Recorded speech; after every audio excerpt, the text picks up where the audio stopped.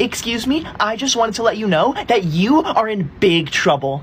That's right, after you kicked me out of your birthday party, I called the police and reported you.